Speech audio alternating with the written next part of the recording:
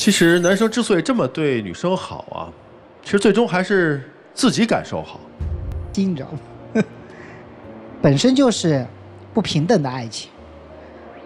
小伙子，你不懂爱，爱是对等的，爱是平等的，爱是相互的，爱是有尺度的，你都不懂，所以你要矫正。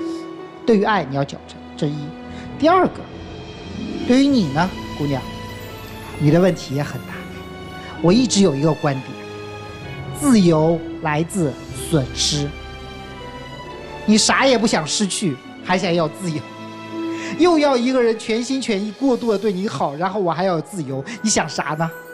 我们在面对一段，就这个人他在你身上压住压的太多的时候，你就一定会知道，我肯定要失去一些东西的。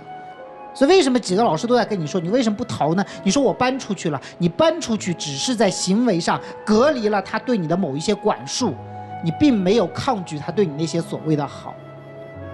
所以，你看，爱是相互之间建立亲密关系，既亲密，但同时又是一种关系。既然有关系，就必须要有距离。